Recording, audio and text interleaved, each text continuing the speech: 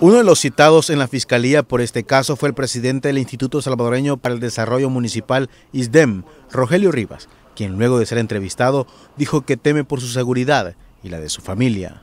Eh, hasta la fecha me ha tocado a mí contratar eh, seguridad privada, eh, con fondos privados también, con fondos míos. no he utilizado fondos de la institución para poderlo hacer y lo que sí temo es que le pueda pasar algo a mi familia y de hecho en caso que le pase algo hago responsable al doctor Sáenz Varela, representante del Ministerio de Obras Públicas y, también al FMLN en caso que se pueda.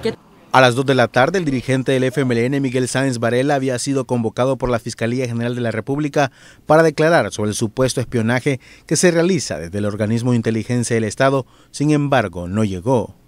Un periódico digital publicó un audio en el que Sáenz Varela confesó que el partido de gobierno utiliza información de la OIE.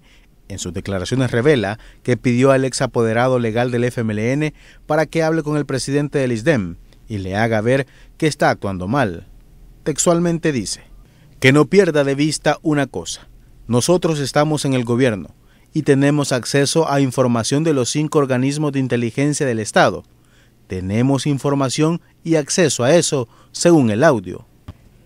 Que la inconformidad de ellos con mi actuación, recuerden que Hace un año los fondos FODES comenzaron a experimentar un atraso que por cierto no se ha depositado todavía el fondo FODES a los gobiernos locales y me tocó a mí asumir una postura crítica hacia el gobierno central. El caso es investigado por la Fiscalía después de que el pasado 8 de septiembre diputados del Partido Arena presentaran una denuncia contra el gobierno por estar realizando supuestamente espionaje político con fondos públicos. Fuentes fiscales sostuvieron que Sáenz Varela tiene más oportunidades para declarar, antes que la Fiscalía pida a la policía ir por él. Walter Morán para Tele 2.